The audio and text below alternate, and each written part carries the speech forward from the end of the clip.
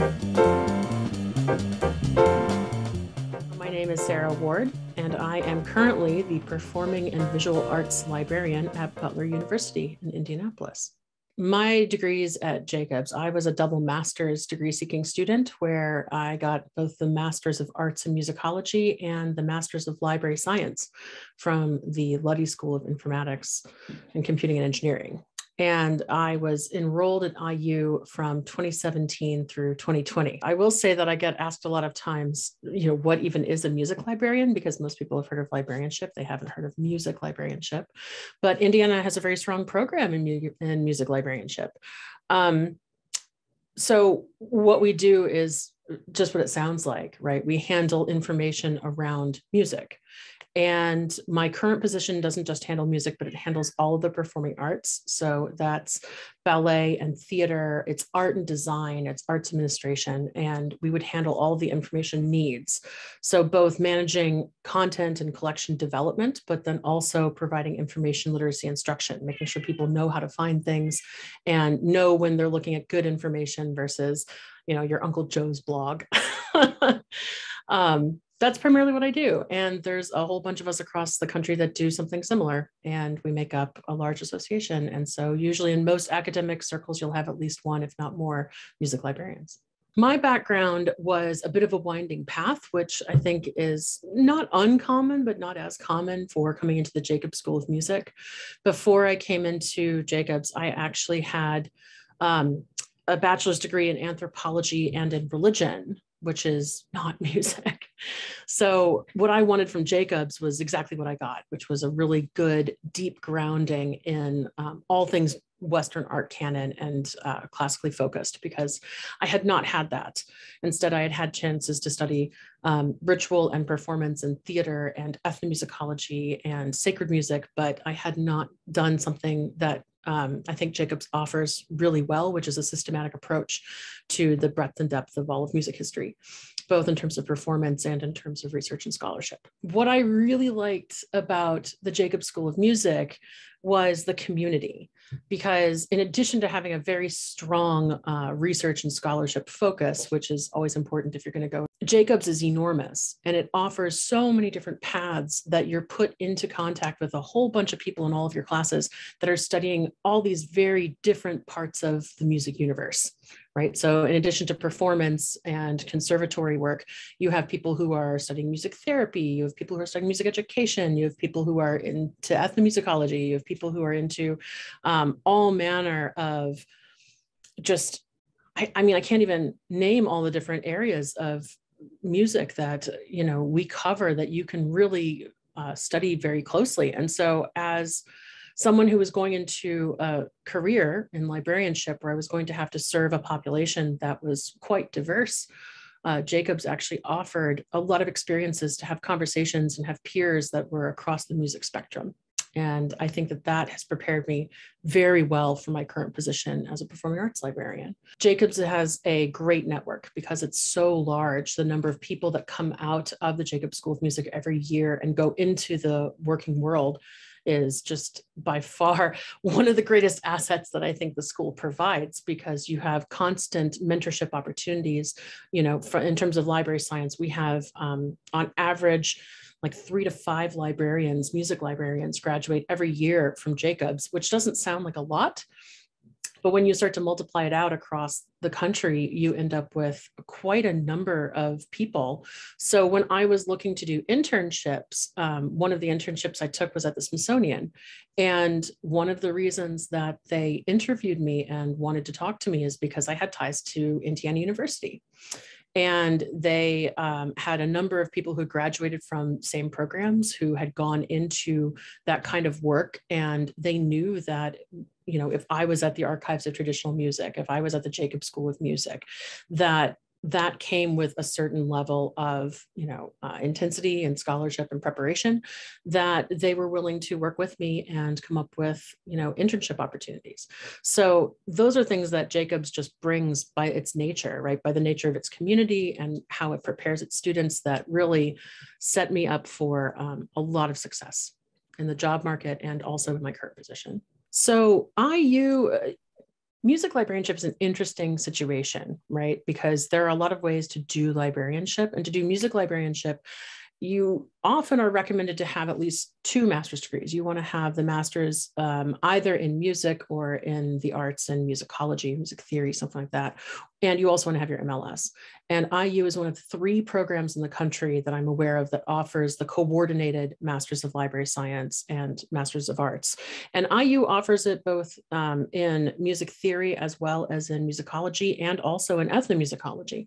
So there are a lot of different ways that you can pair it together with your background. If you're coming up in Jacobs right now as a performance undergrad, you can pair that, you could pair it with a master's of music, but you could also very easily pair it with musicology or music theory.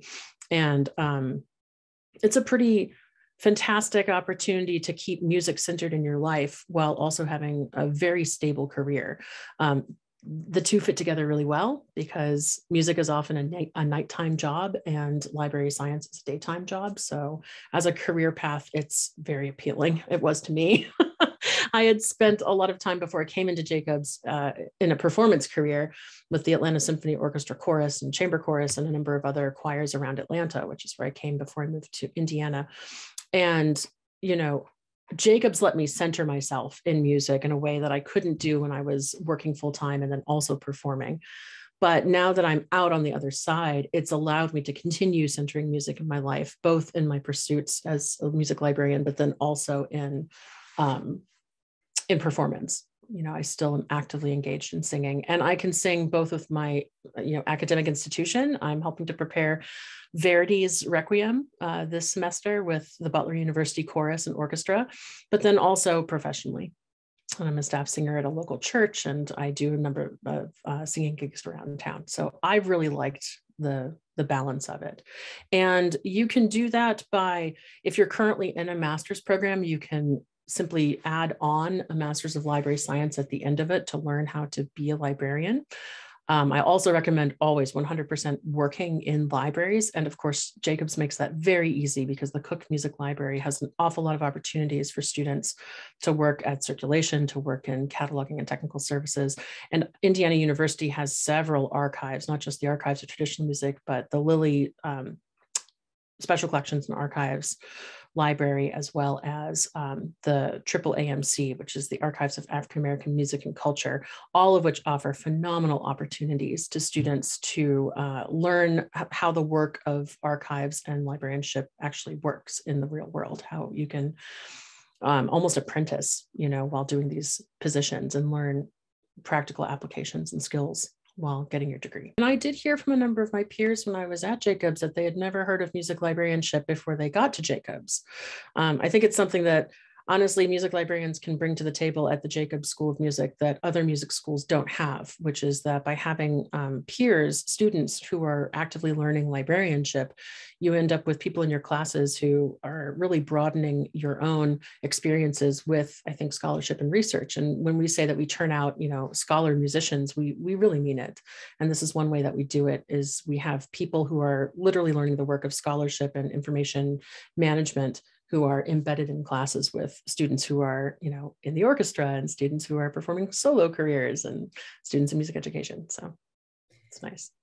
So um, I would say uh, my opinion from what I've seen in job postings in music librarianship is that a lot of music librarianship jobs are starting to become a bit more general. So rather than just music, you might be doing uh, music and dance, or music and dance and theater, or in my case, it's performing and visual arts. So I do um, music, dance, theater, and then also art and design arts administration. So um, I think that you know the ability to learn as much as possible when you're at an institution like Jacobs is something that you should take advantage of. So, when you have all these different people who are in your path, that you really do befriend them, learn how they do their craft, right? Um, learn how they, uh, what their needs are, right? Um, it's something that I couldn't have gotten if I was in a smaller school, I think that wasn't quite as deep as the Jacob School of Music is. And I would say that in the coming years, uh, you know, we do have, I think we've been in a, series of waves of retirements where people have been uh, moving out of the field. There's been a generational shift.